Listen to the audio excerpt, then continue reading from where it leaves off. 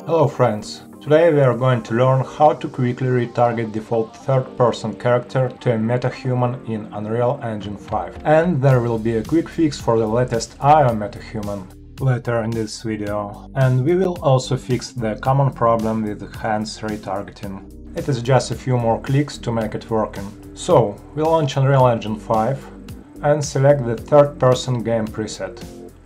Name the project 3rd P to MH. In the project, open the content drawer and right-click on the empty space. Select the Add Quixel Content option. And here is the Quixel bridge. We go to Local, MetaHumans. Select our MetaHuman and add it to the project.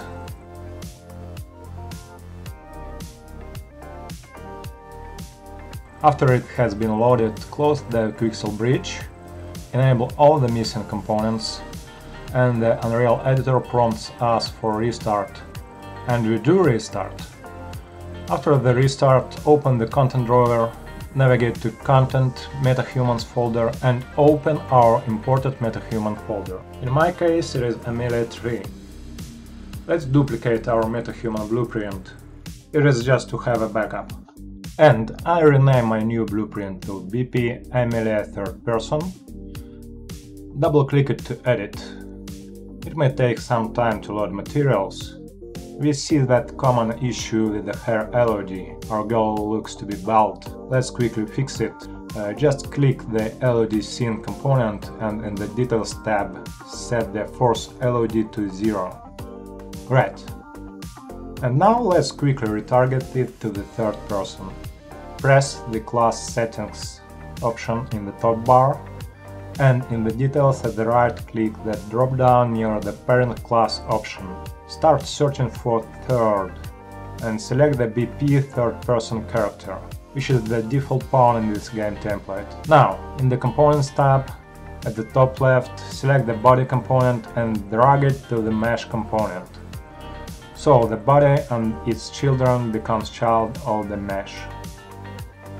And we can now delete this root component. Select the body component. In the Details tab, click those arrows near location and rotation to set the default zero values. Now select the variables retarget mode enabled and in the details set the default value checkbox to be true. And we are almost done.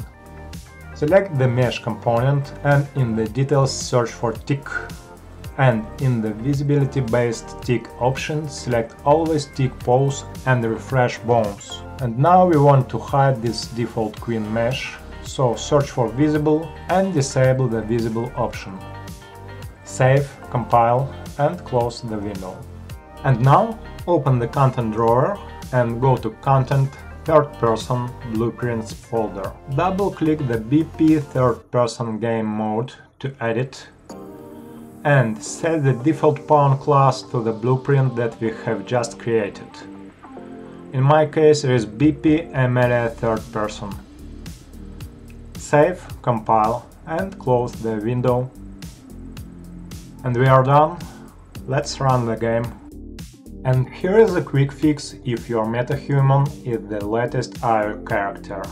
Don't think it somehow differs from the usual metahuman, but for some reason they just didn't set the default retarget value in its blueprint. So, in our blueprint we need to double click the retarget setup function and you will see that this set anim instance node is set to none. You just need to select the RTG metahuman base scale anim BP and that will fix everything.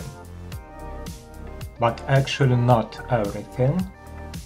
I have this dancing animation for the Quinn character.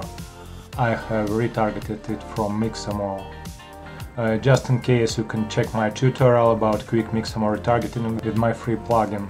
And you see there is something wrong with her hands. Let's fix it. I'm now inside my blueprint, so you also open that newly created blueprint. And again, we click that retarget setup function. And in our anim instance node, click that magnifying glass icon to find the animation blueprint in our content drawer. And here it is, and we open it. If you cannot see these nodes, just click the anim graph at the left. Now, click the retarget pose from mesh node and in the details tab set the IK retargeter to the RTG mannequin. Uh, because we are retargeting from Quinn and it actually uses the mannequin skeleton.